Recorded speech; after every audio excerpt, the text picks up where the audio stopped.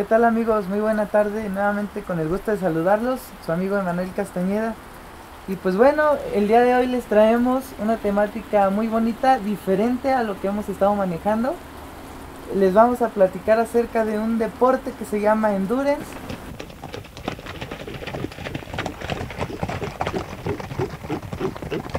Señor, pues muchas gracias. Y bueno, queremos pedirle que nos platique un poco acerca de, de esta disciplina, de este deporte que ustedes manejan aquí, que es como a lo que se dedican, ¿no? Su Eh, fuerte. ¿Y en qué básicamente, consiste? básicamente nosotros practicamos endurance. Eh, en el caso mío, eh, he hecho otras disciplinas. Toda mi vida ha estado ligado al caballo y entonces hemos hecho este, doma clásica, trabajamos en algún momento con caballos charros y conocí el endurance, las carreras de resistencia, competencias que requieren mucha, mucho entrenamiento, mucho trabajo, mucha estrategia y me encantó la disciplina y desde entonces pues no, no he podido dejarlo y básicamente hoy en día es la disciplina que practicamos aquí en casa, mis hijos, mi esposa y la verdad es de que es una disciplina que nos ha dado muchas alegrías, muchas satisfacciones.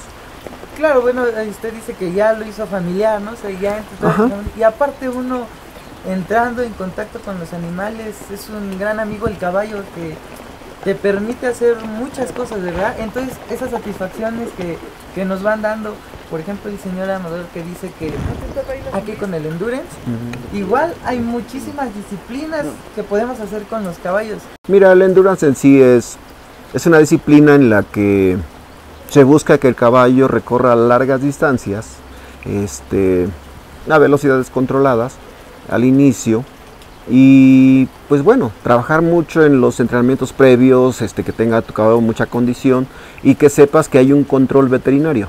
Lo importante de, esto, eh, de este deporte del endurance ecuestre es de que hay un control veterinario. Entonces, tú tienes que tener un caballo manejable desde un principio.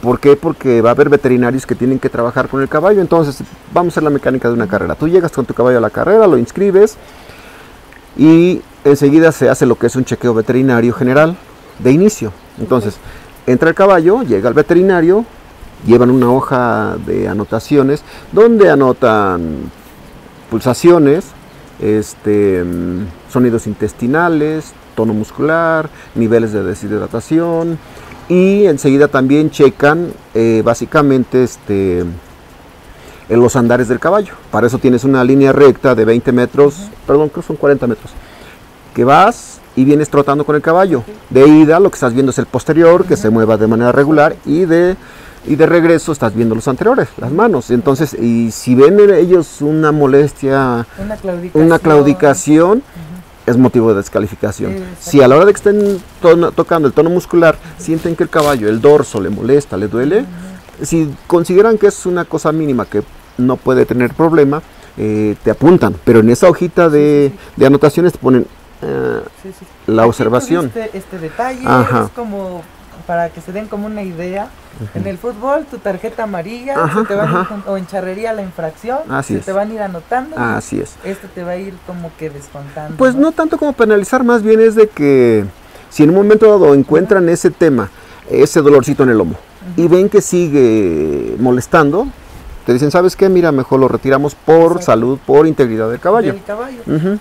Es de distancia, es de distancia. es de es resistencia, distancia, pero sobre todo los controles veterinarios son los que te van a hacer que tú en los entrenamientos previos tengas un caballo bien alimentado, complementado, con todo lo sano y que, que no tenga este fármacos prohibidos que te causen Claro. doping precisamente. Sí, Y es bueno, como una trampa, ¿no? Ajá. De alguna manera. y entonces aquí el caballo es un atleta, es un Sí. deportista, es muy sano, entonces esa es la parte bonita del endurance. Y ahora, ya cuando te hacen el control veterinario y, y lo digamos que todos los parámetros están bien, está bien de pulsaciones, está bien de tono muscular, está bien de sonidos intestinales, está bien de andares, entonces ya te dicen, adelante, tu caballo puede competir. Está- Entonces, esa es la primera, la primera parte. O sea, dicen, ok, está en óptimas condiciones para competir. Y si tiene algún detallito, lo anotan.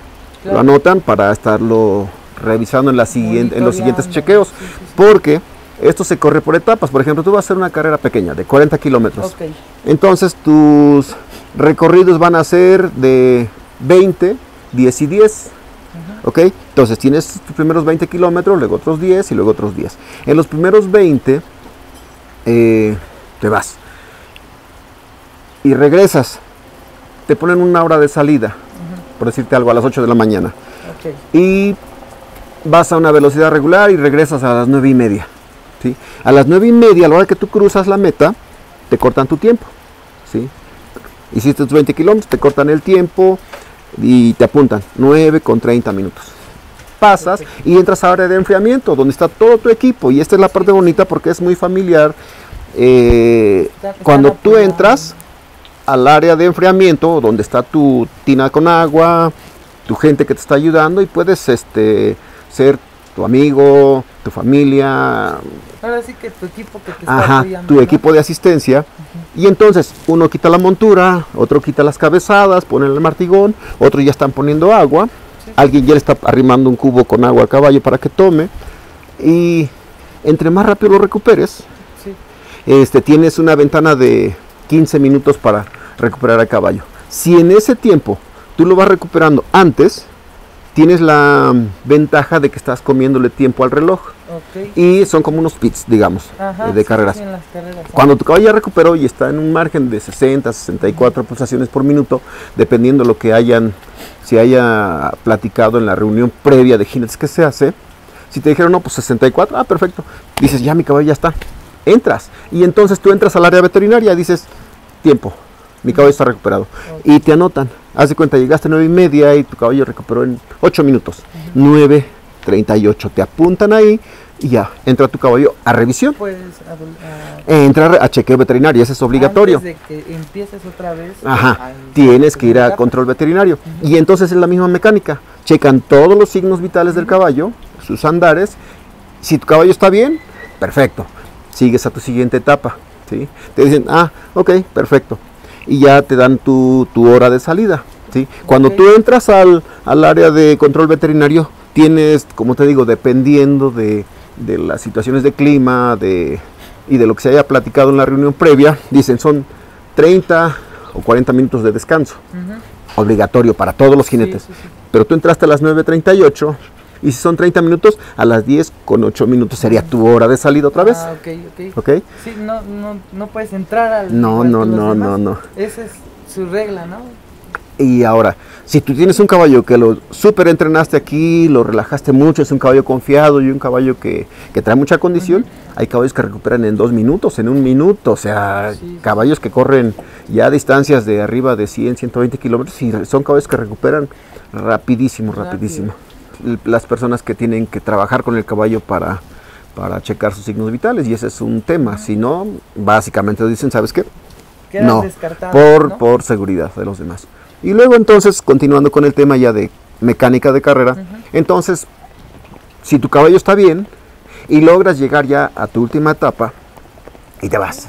Y entonces lo que nos pasa a todo el mundo, de repente te emocionas, te enganchas y todo el mundo ya viene a la recta final y muchos llegan así a galope cerrado porque el caballo con condición física este puede puede llegar todavía después de un recorrido largo, puede llegar cerrando fuerte Sí, en el sí. último arrancón para El- entrar a el meta. último jalón. Ajá. Y entonces es ahí donde tienes, una, que conocer totalmente a tu caballo